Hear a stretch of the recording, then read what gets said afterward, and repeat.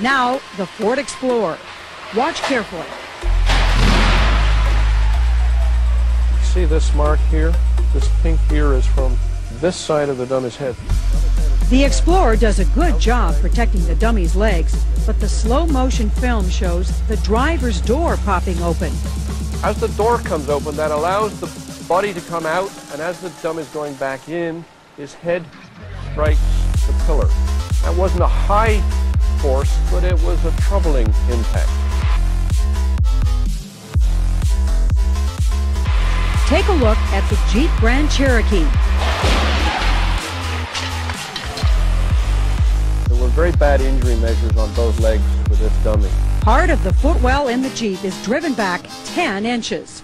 There was a high risk of significant injury, fractures uh, to both legs in this crash.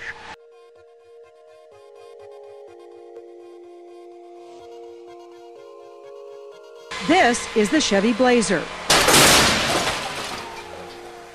Looks pretty bad. There's a lot of intrusion in the foot, footwell area. The footrest has been driven back 13 inches. But in a test where broken legs are usually the most serious injuries, there is concern about this dummy's head. Major problems in this test. You will see how much violent movement there is. The dummy's actually looking back up at you. Remember, you're watching this car at 40 miles an hour. The dummy goes into the airbag, comes back, hits that window frame so hard there's a dent left. That is all happening because the structure around the dummy is collapsing. Although the computer readings indicate no serious injuries to the chest or legs and no life-threatening injury to the head, O'Neill says the dummy's head hit hard enough to cause a concussion. We have not seen bad head injury results like this vehicle in any of the other vehicles.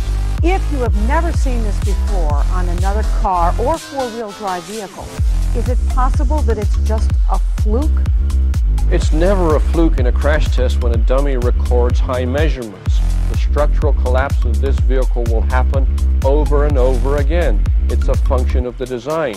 The precise movement of the dummy may not be repeatable, but if you run this test over and over again, the structure will collapse in similar manners.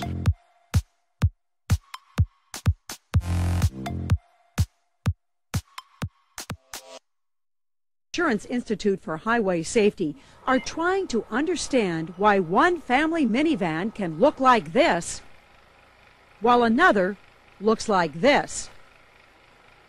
All in the same test.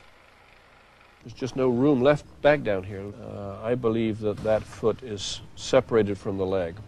And the Institute's Brian O'Neill says some cars do well in the new test. This is the Ford Windstar.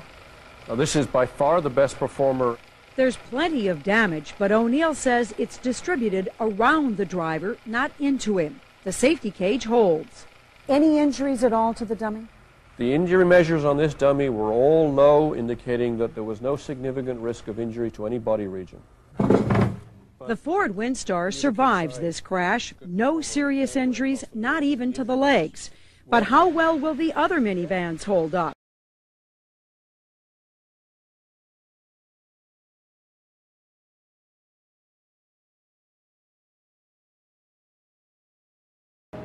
Three, two, one. This is the Dodge Grand Caravan, the top selling minivan in America, at 40 miles an hour. There is major intrusion. This means that the chances of major leg and foot injuries uh, in this crash are very, very high. The Institute says part of the floor near the pedals is rammed back more than a foot. And the news from sensors in the dummy is not good. Both legs. Mm-hmm. Both left and right. Watch the front tire.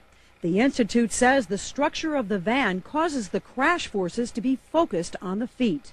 As a result, both of the lower legs of the dummy indicated the risk of a serious injury.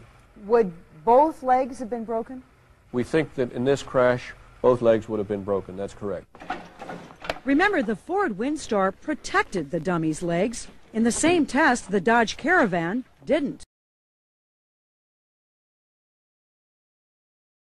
Is the Chevrolet Astro, also called the GMC Safari.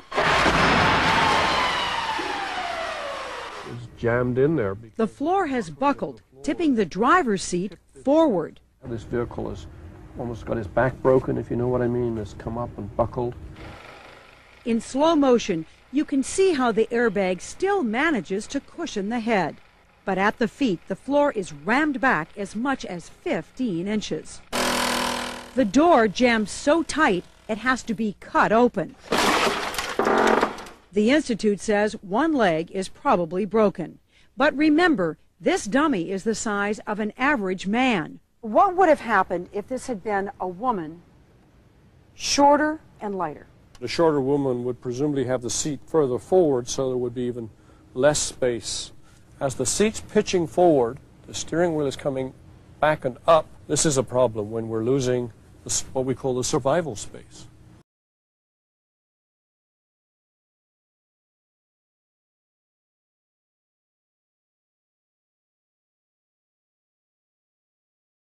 But the Institute says even worse than the Previa is this brand new design from General Motors, the Pontiac Trans Sport. Looks like massive amounts of intrusion. We've got the chin of the dummy on the steering wheel, which isn't good. The wheel is under the chin. See the steering wheel rim here? The slow motion film shows the dummy's head snapping back. The structure of the vehicle just collapses. It's obvious from his head motion that it's hit the steering wheel. General Motors says this is one of the few vans in which the seam welds, which hold sections of the car together, didn't separate. But the Institute says the floor has been rammed back as much as 19 inches. That's more than any other van. The dummy's left leg is trapped. It's not even budging. It won't come free, even with a crowbar. It's not moving, is it? Technicians finally take the dummy apart at the knee just to get it out. But there's a problem.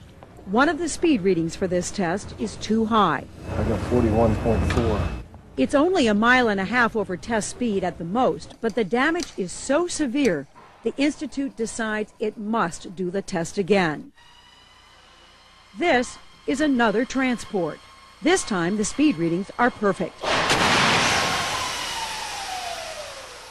But the damage is similar. Massive structural collapse. The dummy's left leg is trapped again.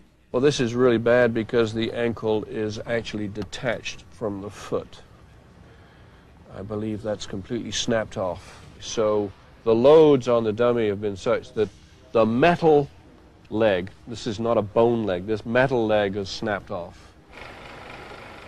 And on the slow motion film, watch carefully. What this crash illustrates is that when the compartment fails completely, as it's done here, and is collapsing all around you, the restraint systems can't offer much protection.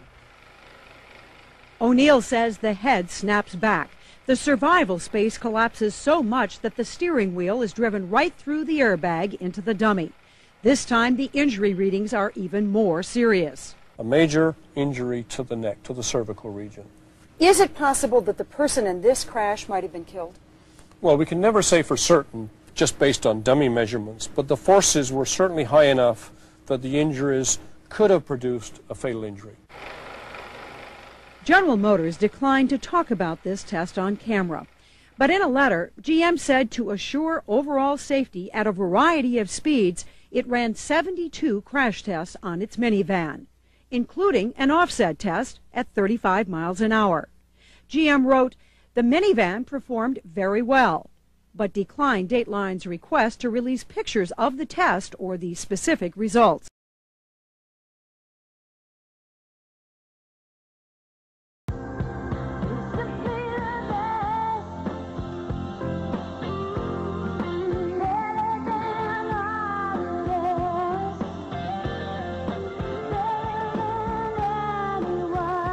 Toyota Sienna did better overall in Insurance Institute crash tests than any other vehicle tested, ever.